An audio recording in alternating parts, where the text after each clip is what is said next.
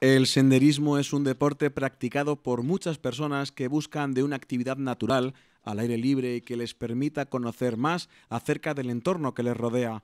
Eso es lo que ofrece una nueva ruta de senderos que discurren por Cuenca. Comienza su segundo ciclo, porque su primer ciclo terminó en, primavera, cuatro rutas de sendero, y ahora comenzamos con otras cuatro rutas más de sendero, y la primera es en la localidad de Buendía, en el paraje que dicen de las caras de Buendía, al lado del pantano, un entorno fantástico, y terminaremos en el mes de octubre porque comienza el, periodo de invierno y sabemos que en verano y en invierno hacer sendero pues es más complicado. Cardenete, Buendía y Alarcón son los municipios elegidos para realizar unas rutas que tienen la finalidad de mantener unos senderos patrimonio de la provincia.